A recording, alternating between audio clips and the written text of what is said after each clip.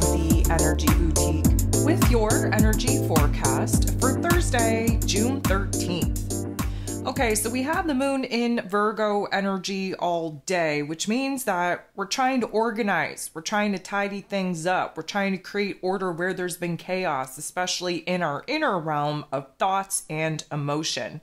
Virgo energy, the fixer of the zodiac. We need to focus on our problems, be very aware of the issues, of the obstacles, of the challenges before we can attempt to actually fix, heal, and repair them. The Virgo energy, of course, is going to intensify the pressure in the headspace as Mercury does rule over the Virgo energy just as much as the Gemini energy that we're currently in. And we are building to the first quarter moon popping off in this Virgo energy in the wee hours Friday morning.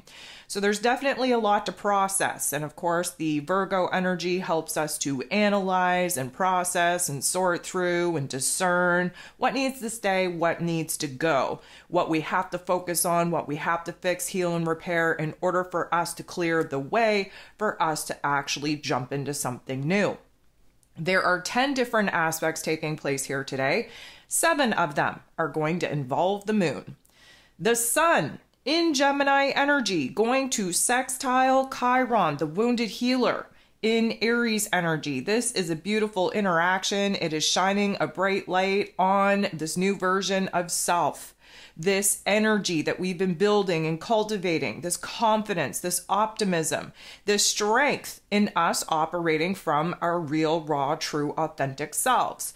This is a illumination, if you will, on how far we've come giving us an opportunity to kind of give ourselves some credit where credit is due.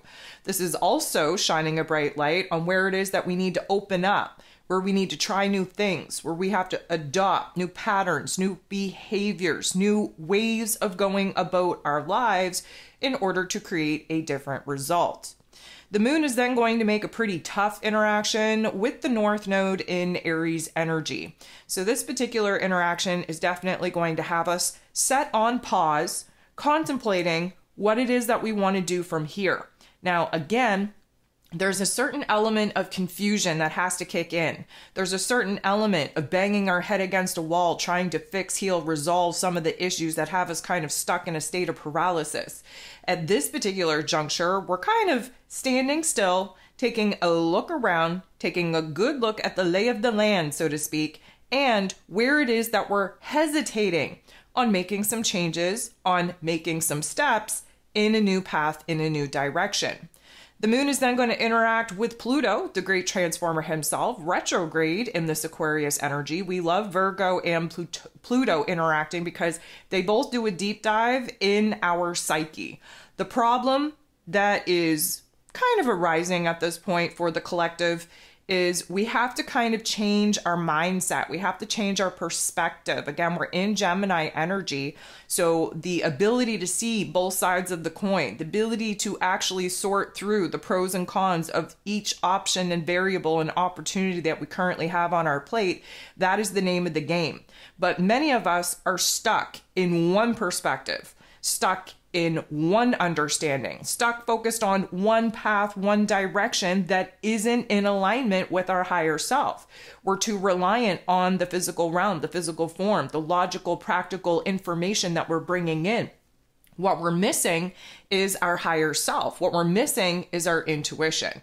And so, again, Pluto being retrograde in this Aquarius energy is taking us on an inward journey of being able to illuminate where the power struggle is alive and well the old self versus new self, the ego self versus higher self. There's a lot of competing parts, especially here in this Gemini season. And so this particular interaction is likely going to intensify the negative narrative, the worry, the anxiety, the anxiousness, the anticipation, all of those funky type of emotions and thoughts in order for us to become aware of them and override them. Basically flipping the script and creating something that empowers us instead of making us fearful, worrisome, anxious for what is to come. The moon is then going to make a positive interaction with Chiron. So, whatever funk we just sat in, whatever negative narrative just got illuminated, wherever it is that fears, doubts, and insecurities kind of reared their ugly head, we're able to actually grow from them, heal from them, improve and empower ourselves because of the illumination and awareness that we have of that darker part of self. The moon and Chiron showing us where it is that we have an opportunity to break free from those limiting thoughts, from those limiting emotions, from that one tunnel vision perspective. And because of that, now we are building ourselves up in optimism, in confidence, in strength, in our ability to actually make changes and transformations. And this, in turn, is kind of creating more options and opportunities to make some progress in a new path, in a new direction. Venus, the goddess of love, beauty, worth, pleasure, and money in this Gemini energy, going to make a positive interaction with Pluto, the great transformer himself, retrograde in this Aquarius energy. We got some air on air action between the Gemini energy and the Aquarius energy. And of course, Venus and Pluto going to intensify our emotions, our affections, what it is that we're feeling, where it is that we're feeling safe, secure, and stable, where it is that we're not, where it is that we want to make changes and improve our relationship dynamics, and where it is that we want to step away and create more time, energy, and space to kind of observe how other people are acting. This is an aha moment. This is an empowerment energy of kind of showing us the options that we currently have. And again, a lot of those options are A, continue doing what it is that you've been doing and get what it is that you've already got, or B, choose different. Whatever that different may be, the smaller changes, the smaller adjustments that we are thinking about, that we are feeling through, this is what's going to kind of reveal the greater, grander change the greater grander transformation that is needed in order to launch us in a new path, in a new direction. This particular energy can also intensify new passions, new desires, new wants, new needs, especially where our relationship dynamics are concerned, especially in the back of our mind. We want to build something safer, something stronger, something more long term, especially with the people around us. So, this little I'm going to call it power play of our heart and our head, kind of challenging each other, is going to illuminate what it is that we could be, do differently in our relationship dynamics in order to create a different result. The moon is then going to make a very awkward interaction with Mars. Mars is the god of war, ruling over our physical energy, our drive, our passion, our desire, even our anger. He's fresh in this Taurus energy, which isn't his most comfortable position to be in because it's a very low, slow, steady pace of making change. And the changes that we're making are very incremental at this time. It's really starting with the way that we're feeling about ourselves, seeing ourselves, new worth and value within ourselves. It's also seeing where it is that we could make some changes in our routines, how it is that we're moving throughout our day, seeing where it is that we have room for improvement in interacting with the people that we're sharing time, energy, and space with. Mars in this Taurus energy is kind of stubborn, hell bent, damn well and determined to see a certain path, certain goal, certain project through. However, we haven't been gifted with the green light go ahead to take as many moves and see as much action as we would prefer to see.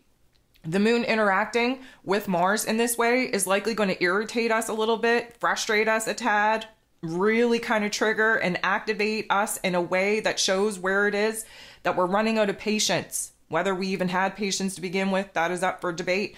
But we are essentially starting to feel those ants in our pants. We're starting to get agitated of not having a plan, not having a strategy to actually move forward.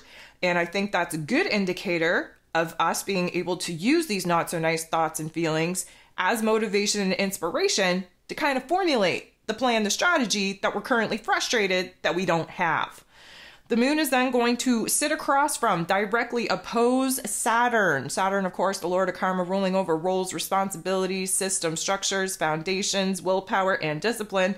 Saturn is in Pisces energy, and of course, Virgo energy and Pisces energy sit across from each other in the zodiac wheel. They represent the axis of healing. The Virgo energy wants to focus on the physical body, the physical realm, the mental health.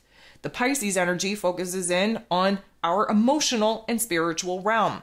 And so when opposition is a tension point, doesn't feel so good, doesn't feel so hot, we're likely going to feel a heaviness, a weight kind of take over. There may actually be a little bit of a reality check, receiving information and details that don't really promote happiness and joy, don't really promote solutions.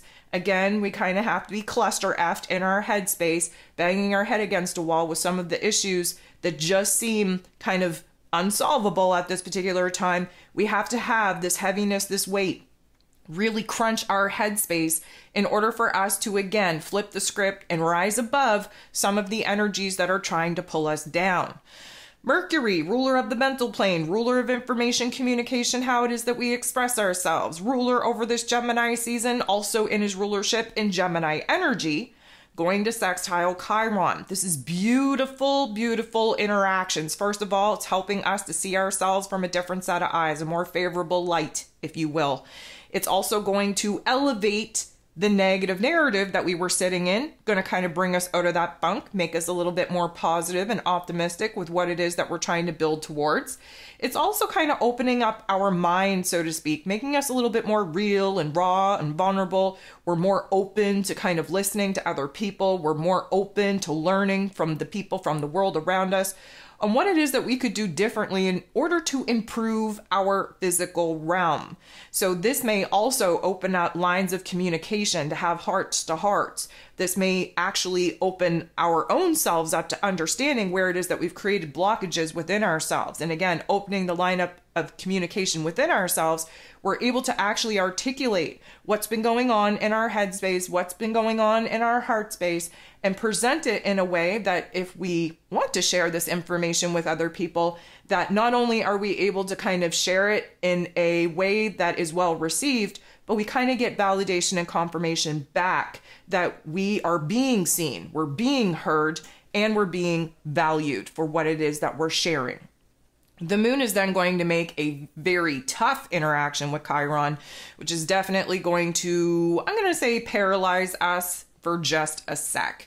Now, there's a lot to sort through, especially when we have this high energy pushing us to see ourselves in a new set of eyes, uh, new value, new worth, new wants, new needs, new desires. The minute that we're real and raw and authentic and vulnerable is the minute that we clam up. Just when we have this heart to heart, just when we're able to articulate our inner realm to those around us, that's when we start kind of backpedaling. Should I have said that? Did I overshare?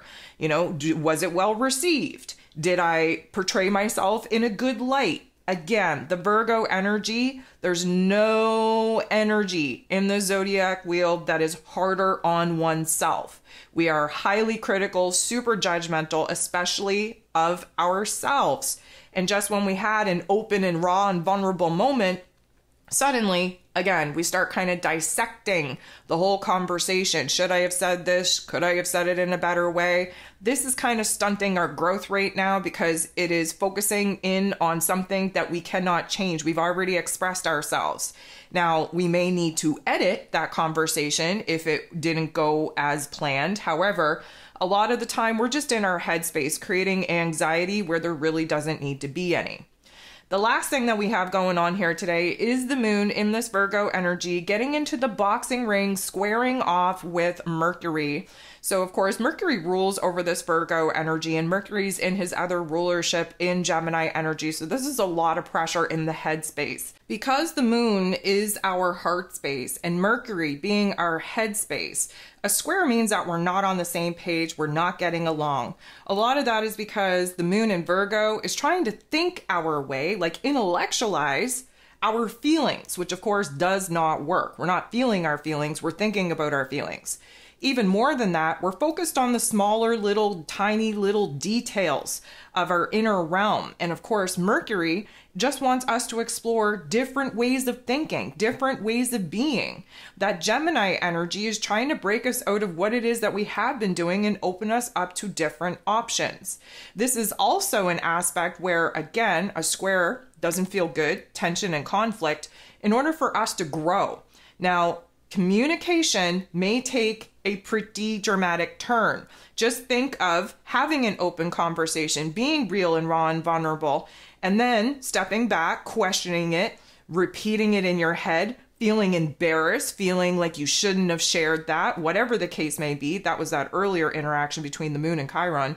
And now we're getting in the boxing ring with our headspace, with our ability to communicate, with what it is that we did say, what it is that we wish we didn't say, what it is that we wish we could have said.